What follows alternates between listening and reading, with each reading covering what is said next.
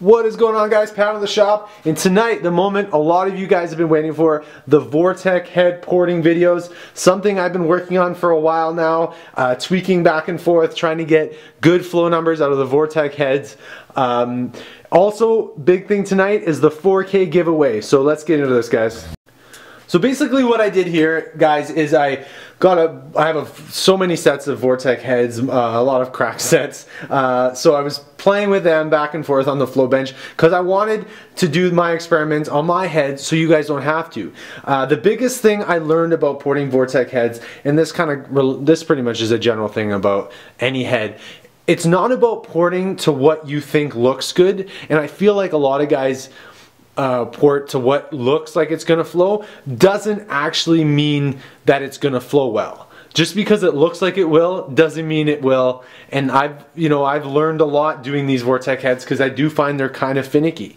Um, they don't port like older heads where basically the more you can get out of them the better they'll flow. They're very particular on where you take material out. Back and forth on the flow bench ported tried this tried that. So I finally got a way that I can easily show you guys how to get some good flow to your Vortec heads so we're going to break these uh, porting videos down uh, bit by bit. And the first thing we're going to talk about is uh, porting in uh, unshrouding the valves. And, and I actually, what I did is I kind of broke it down. So I unshrouded the valves and left the stock uh, runner and everything else the same, just and then float it that way to see the difference and where are where we're getting the gain uh, the gains in flow uh, and, and what part we're getting the gains from. And then I threw it all together and did a full port and chamber and all the little tricks and then see as a whole how it all works together. But let's talk about doing the chamber first. So the first thing you want to do is you got to mark out with your head gasket how far you can unshroud the valves. Uh, a lot of guys don't think on these Vortec heads because of the small exhaust valve that you don't need to unshroud them, but I'm going to show you that actually it is beneficial uh, to some extent to unshroud the exhaust valve. But you got to put a head gasket on here, the head gasket you're going to use, and then you got to mark out around the combustion chamber.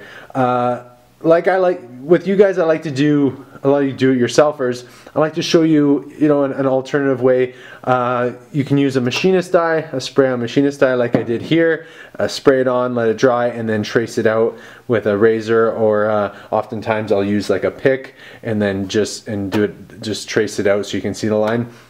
But honestly, if you don't, if you don't have uh, the dye, you don't want to buy it, you're on a budget, you can use a Sharpie. I've done it, I've tried it, I've tried different ways to show you guys, uh, you know, cheaper alternatives, and you can see here I traced it out with a Sharpie, and this one's already been unshrouded. You can see I'm just the line. So, like I said, you gotta center the head gasket on there. A lot of guys will center with the bolts, but as you can see, there's quite a bit of movement. Here's a, a, a little tip and trick. What works is if you do have a Sharpie, these smaller ones like this, they actually fit quite good. And now it, it's a tapered piece, any tapered piece. I just found a Sharpie uh, by accident, works pretty good. And if you have two, it's actually better, two or, two or three. Uh, you can put the bolts in two or just have two or three Sharpies in there and then it, it holds it. You can see how much better that is. Uh, so that works. And then all you gotta do, I don't have a spare uh, Sharpie here. But all you got to do is get that centered and then you're going to trace out your combustion chamber. Or if you're using uh, machinist die, you're just going to go around and uh, scrape that out with a razor blade. Or like I said, I use a pick. Alright, so I made two little marks here. We're going to open the valve up approximately uh, 500 thou. And then we're going to bring this, this is just a quarter inch piece of metal dowel. I don't, I'm not going to use any fancy um, uh, porting balls or anything like that. This is just something you guys can easily find. It's just a quarter inch metal dowel.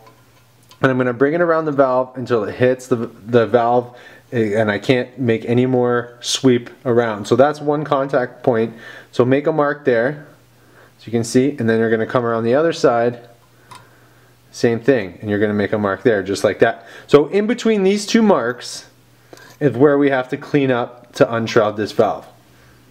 And the, the actually the machinist die, this is kind of where the machinist die is nice. So you can mark, and then as you're grinding, you can actually kind of have a better idea where you're taking material out because uh, it's all you know blue inside here. So um, this is where we're going to have to take material, and we're going to do the same thing on the exhaust side and take a look there.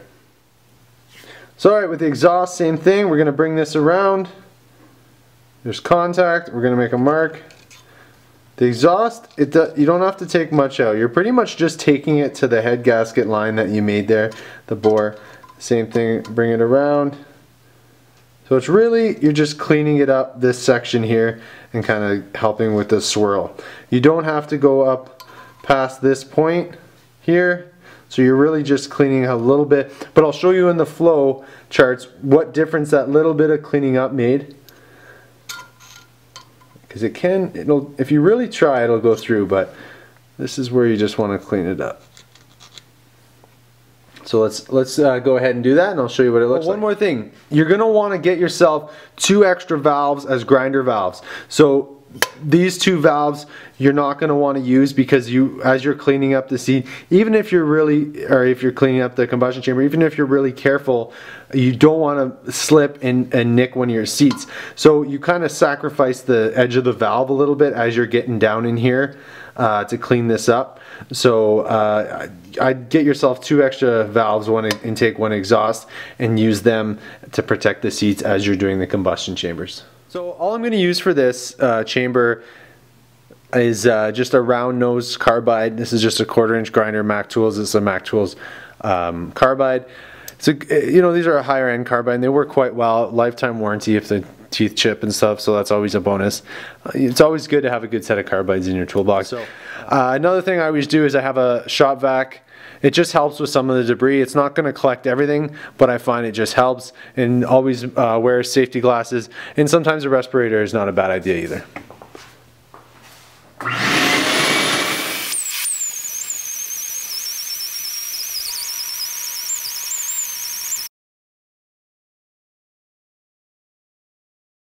Alright, as you can see, uh, we took out some material here. And honestly, it's about taking out you know the minimal amount of material. You don't want to go too crazy. You don't want to open up your combustion chamber too big because the benefit of the Vortecs is having that small 64 cc combustion chamber.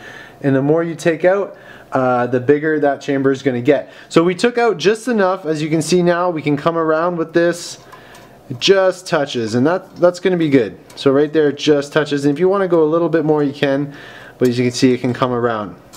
We did the exhaust valve as well took a, little bit of that area and basically as you can see we went just to the edge of our scrape mark. And if you're wondering how close you can get to the head gasket uh, basically I like to just touch the line because most head gasket manufacturers recommend 10 thou. The head gasket be 10 thou bigger than the bore minimum uh, bore or combustion chamber. So basically if you can get it just to that etch line that you made, then you should be perfect and that kind of works out for these Vortec heads as far as how much shrouding on these uh, stock valves.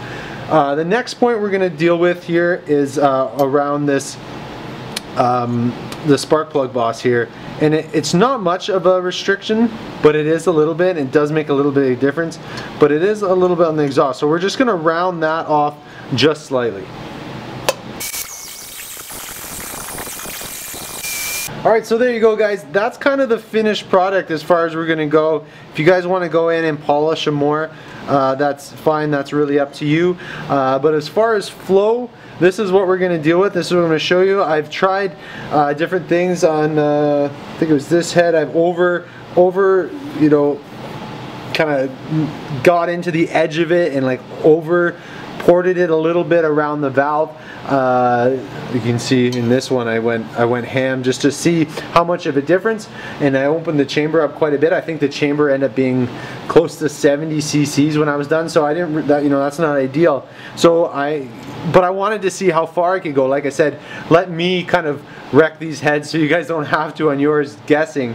Um, but what I found is this was it. This was the most you get. This is this only took me you know 10 minutes to do get that spot there all so you can see nice and cleaned up And uh, David Vizard, uh, the legend himself, has done a similar video if you've seen his Vortec videos and he, he found the same results. So uh, he found out just cleaning this section.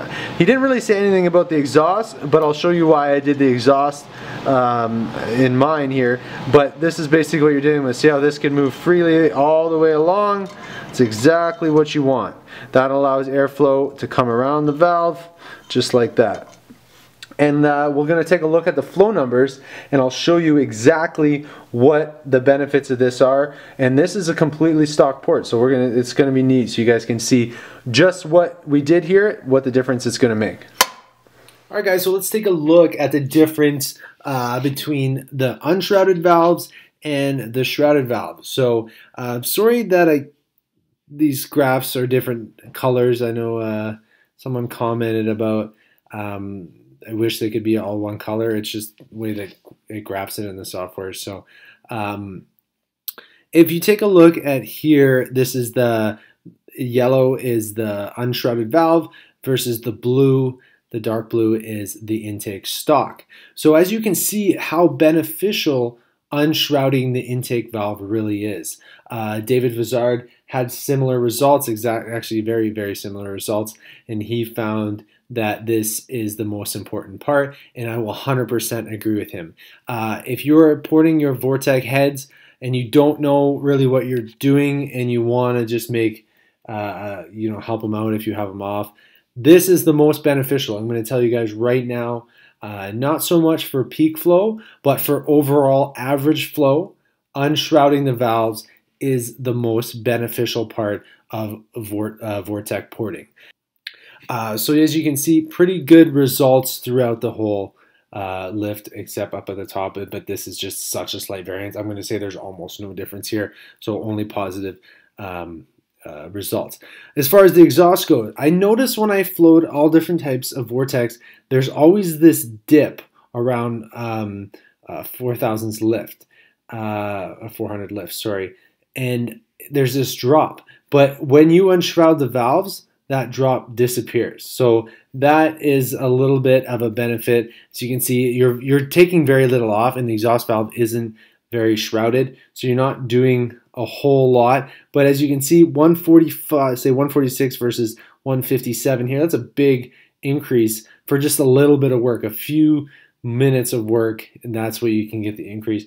But if you've seen my other videos, uh, you know going to the one six exhaust valve makes uh, you know quite a good quite a increase in flow but um, we're going to show you what you can get with with porting uh, the the exhaust side and so it's kind of the opposite with the intake unshrouding the valves is your biggest benefit but with the exhaust actually the port work is going to make more of a difference so uh, it's it's the opposite of the intake when it comes to porting Vortec heads uh, and that's and that's what I've you know just with Flowbench results. That's what I've learned.